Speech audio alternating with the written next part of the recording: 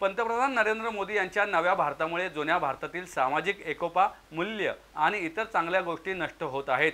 संविधानिक तरतुदी बदलल्या जात आहेत. त्यामुळे देशाची लोकशाही धोक्यात आली असून देशातील लोकांना मोदींची गॅरंटी नव्हे तर लोकशाहीची गॅरंटी हवी आहे अशी टीका काँग्रेसचे नेते व माजी केंद्रीय मंत्री डॉक्टर शशी थरूर यांनी पुण्यात केली आहे. पुणे लोकसभा मतदारसंघाचे महाविकास आघाडी इंडिया फ्रंटचे उमेदवार रवींद्र धंगेकर यांच्या जाहीरनाम्याचे प्रकाशन काँग्रेस भवनमध्ये डॉक्टर शशी थरूर यांच्या हस्ते झाले यावेळी ते बोलत होते.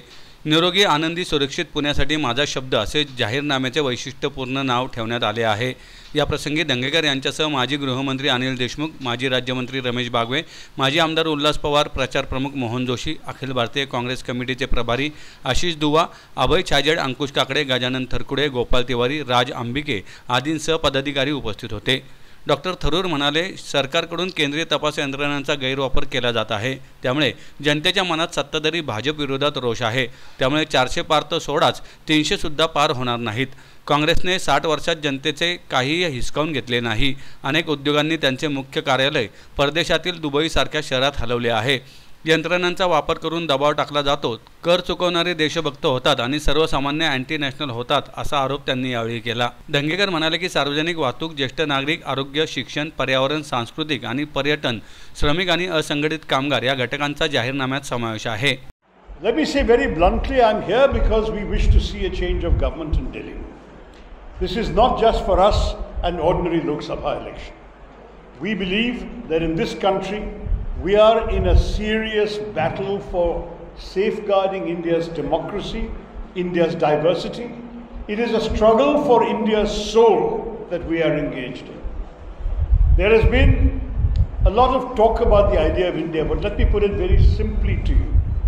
The basic idea of India in our constitution is an idea that, as far as the constitution is concerned, it doesn't matter what your caste is, what your religion is, what your language is, which state you're from, ultimately, you, if you are a citizen of India, you have the same rights as everybody else. This is fundamentally under threat from the BJP and its approach of Hindi, Hindutva, Hindustan. The second problem we have is with the weaponization of the instruments of the state.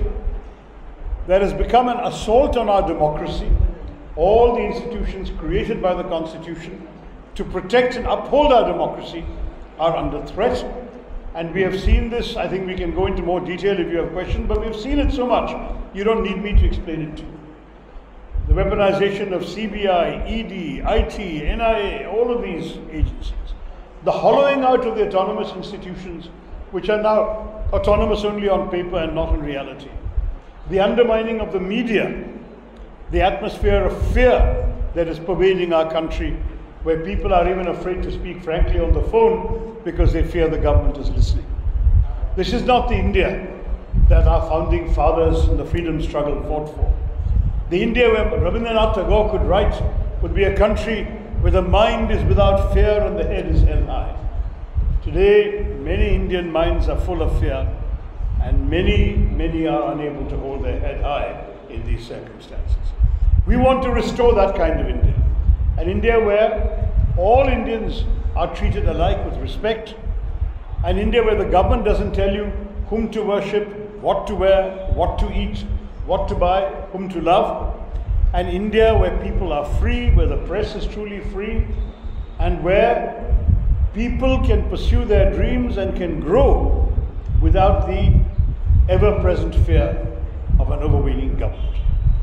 तो मैं यहाँ आपसे सिर्फ़ ये कहना आया हूँ कि हम चाहते हैं कि सरकार को बदल ले दिल्ली में कि जिस किस्म के हमारे लोकतंत्र में अभी सही बात कहूँ तो लोकतंत्र खतरे में ही है कुछ सालों से हम देख रहे हैं कि हमारे देश में जो भी ये सरकार कर सके, उनके सारे स्थापनों को दुरुपयोग करके जैसे कि सीबीआई, ईडी, एनआईए, आईटी और ऐसे जो हमारे संविधान में लिखे हैं जो हमारे डेमोक्रेसी हमारे लोकतंत्र को बचाने के लिए जो भी सेफ़ गार्ड रहे ये सब एक एक करके भाजपा इसको बदल रहे हैं।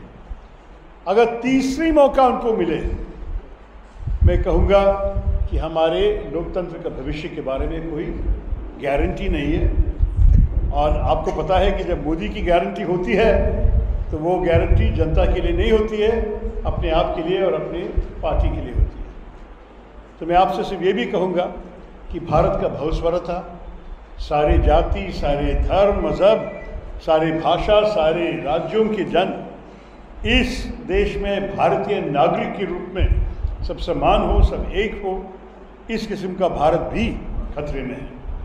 तो हम चाहते हैं कि ये जब मोदी जी नया भारत कहते हैं, हम पुराने भारत के सारे अच्छे मूल्य, अच्छे विश्वास, अच्छे रीति को खो जाने नहीं चाहते हैं।